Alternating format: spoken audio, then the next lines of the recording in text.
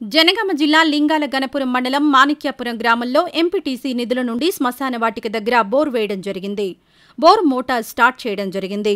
ఈ కార్యక్రమంలో ముఖ్య అతిథిగా ఎంపీపీ చిట్ల జయశ్రీ ఉపేందర్ రెడ్డి మరియు ఎంపీటీసీ మాధవి కుమార్ సర్పంచ్ శ్వేత పూర్ణచంద్ ఉప సర్పంచ్ చాపల రవి వార్డు మెంబర్లు ఏదుల వెంకటేష్ చాపల రజిత అశోక్ రాగం శ్రీలత నారాయణ వార్డు మెంబర్స్ మరియు విజయ డైరీ చైర్మన్ రాగం నారాయణ చౌదరిపల్లి సతీష్ చాపల సత్తయ్య రాగం ఐలయ్య గ్రామ పంచాయతీ సిబ్బంది CH Ramulu CH Ravi CH Raju గ్రామస్తులు తదితరులు పాల్గొన్నారు.